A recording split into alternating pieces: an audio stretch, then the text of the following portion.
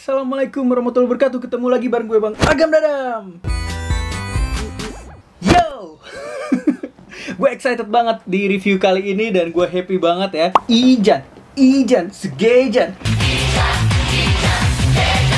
Jadi seperti yang teman-teman tahu, Kamen Rider Deno ini adalah salah satu Kamen Rider terfavorit gue ya so far dari Kamen Rider era Heisei P1 yang sudah gue tonton. Pokoknya teman-teman yang udah follow Instagram gue, subscribe YouTube gue 5 bulan terakhir, tahu deh perjalanan gue mengikuti lagi Kamen Rider era Heisei. Dan ini ada satu Kamen Rider yang cukup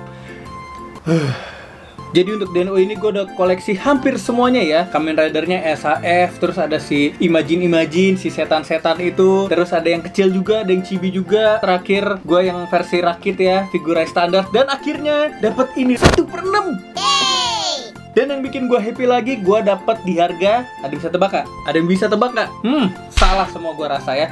Ini gue dapat 500 ribu rupiah aja.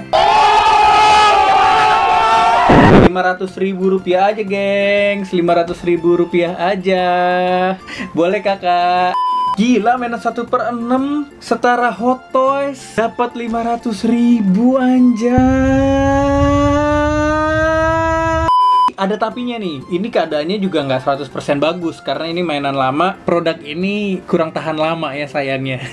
Dan gue juga sudah diinfokan ini ada beberapa minus. Seperti apa minusnya nanti kita lihat sendiri ya. Dan FYI ini belum gue buka sama sekali uh, mainannya. Jadi bener-bener barang sampai terus gue buka box coklatnya di IG live waktu itu teman-teman mungkin ada yang nonton live-nya dan gak gue buka karena gue pengen surprise nih. Kira-kira seperti apa ya uh, figur aslinya? Gue pengen first impression gue di sini di YouTube. Dan pas nyampe itu barangnya ada bunyi-bunyi gini nih. Ada kayak something yang dia lepas dari blisternya atau ada patah udah apa gue nggak tahu. Ayo kita cari tahu barang ya. Let's go langsung kita lihat dari detail boxnya dulu geng. Oke okay, so ini detail boxnya. So dari atas dulu yang pasti ada logo toy company di sini. Lalu ada logo BM Project. Atau ini sebenarnya bukan Real Action Heroes ya, bukan RH ya, tapi BM Project ya. Kayak beda divisi gitu sama Real Action Heroes. Lalu ada foto figurnya di sini ini definitely foto figurnya yang bener-bener kayak asli ya. Karena dia emang satu per 6 lalu ini ada stiker keasliannya ya. BM Project Kamen Rider Den-O 2009 lalu ada logo Kamen Rider Den-O nya ada logo Medicom Toys dan Bandai. Lalu ini ada tulisan Masked Rider Den-O Sword Form bla bla bla bla bla. Oke di sisi atas samping bawah itu semua sama bentuknya rel kereta api ya temanya Den-O ya. Semuanya rel kereta api itu dengan logo Den-O pastinya.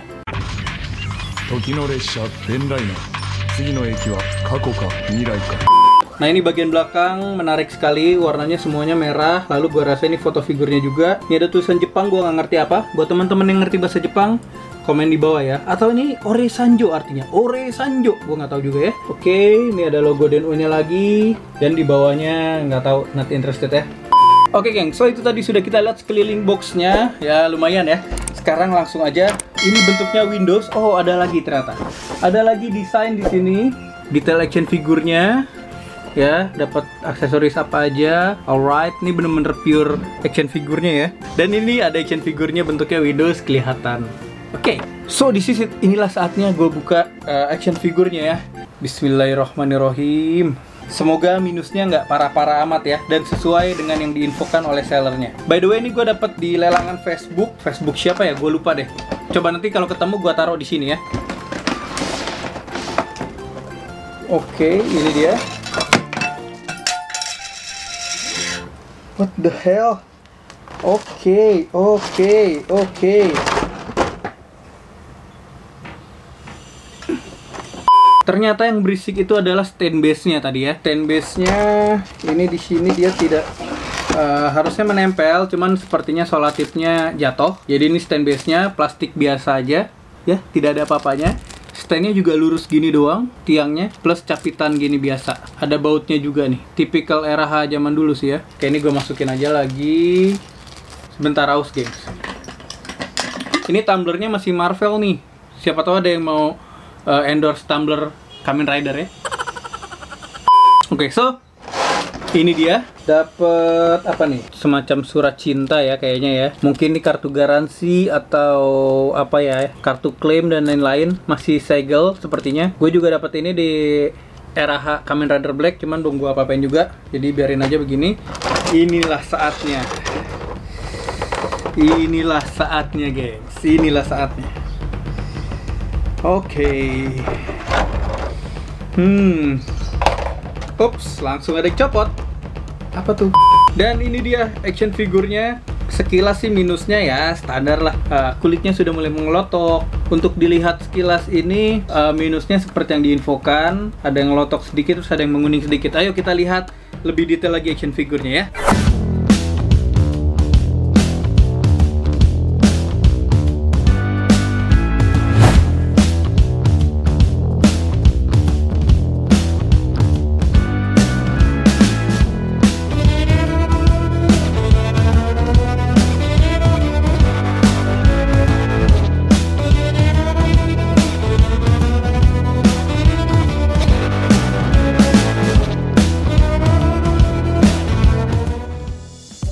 So tadi sudah kita lihat uh, detail ala-ala ya beauty-nya. Ini sekarang gue mau grepe-grepe gengs. Ini sih emang movie akurat ya.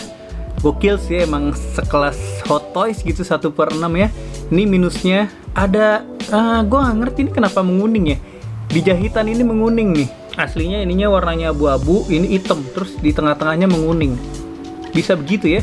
Oke kelihatan nih terus kayak apa ya kalau gue pegang tuh ada keset-kesetnya gitu loh kayak jamur atau berdebu gitu. Ngeri sih kalau gue gosok takutnya ngelotok. Lihat lagi mukanya detailnya luar biasa ya.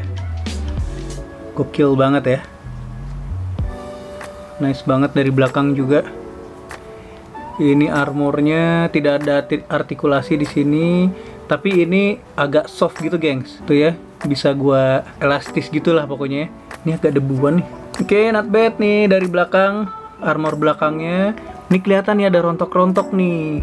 Ya, banyak retak-retak bagian kulitnya. Sudah biasa untuk 1 per 6 apa? Medicom Toys. Oke, okay, and then ini dia beltnya. Cakep banget ya detailnya udah paling akurat lah. Toneno neno net, toneno neno net. Ya, sudah gitu. Toneno neno net, toneno neno net.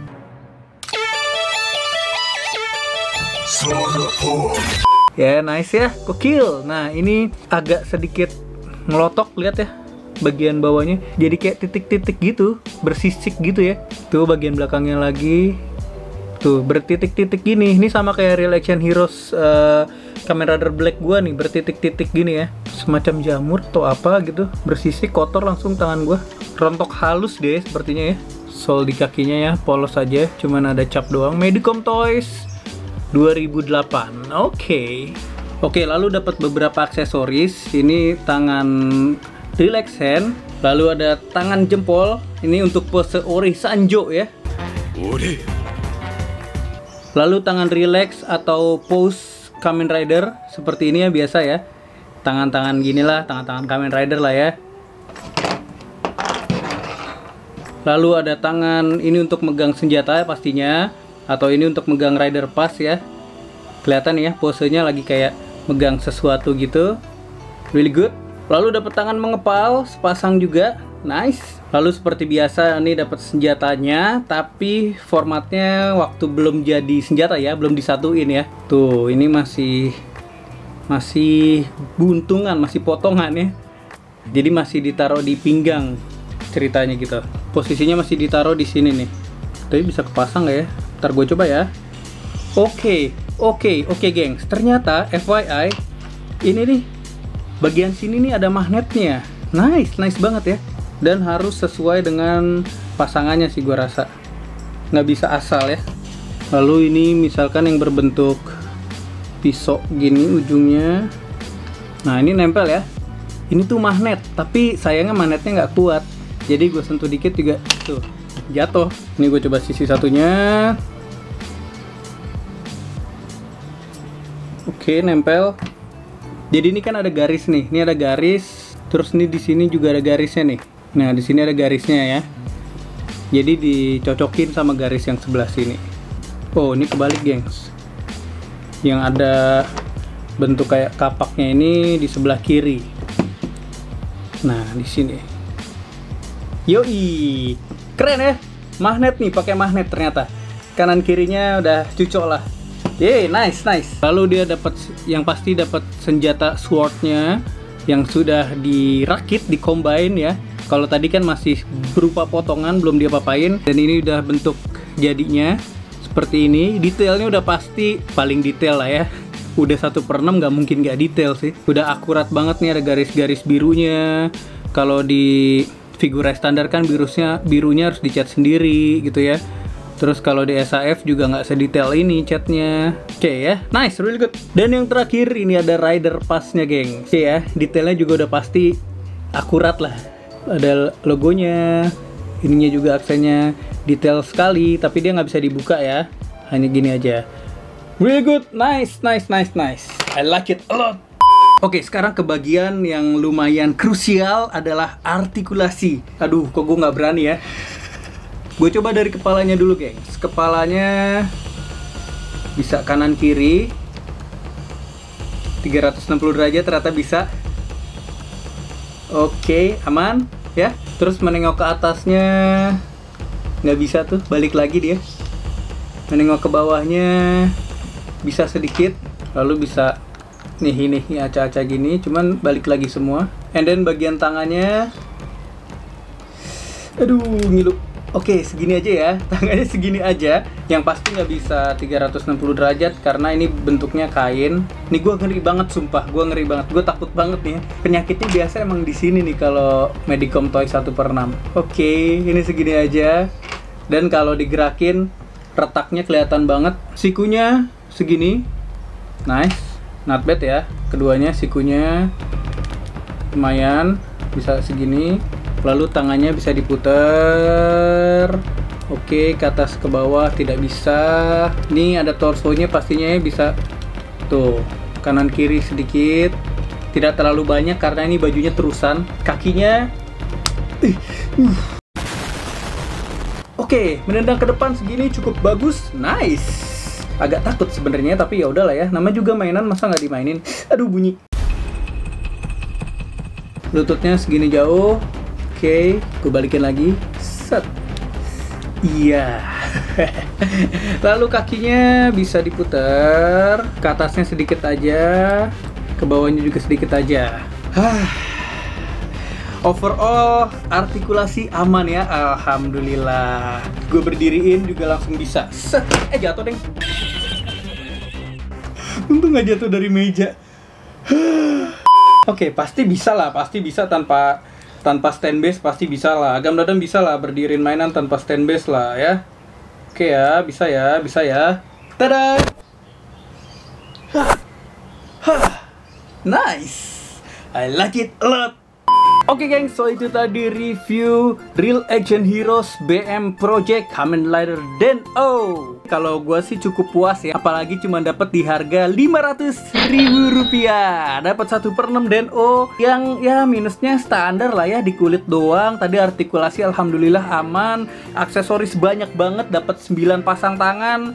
Terus dapat senjatanya komplit yang diperlukan, rider passnya juga. Ah, gokil sih. Mungkin next wishlist gue mau taros 1 per 6 kali ya. Oke, okay, skor dari gue ini 9 dari 10. Skor dari kalian berapa? Komen di bawah. Akhir kata jangan lupa di like, share, dan subscribe channel Agam Dadams. Jangan lupa di support juga channel ini biar gua terus bikin konten yang menghibur untuk kalian semua ya. Akhir kata semoga video ini bermanfaat, bisa jadi bahan pertimbangan untuk kalian kalau mau hunting atau sekedar nostalgia buat teman-teman yang sudah ngikutin Kamen Rider Den-O. Sampai ketemu di video berikutnya. Assalamualaikum warahmatullahi wabarakatuh. Ciao.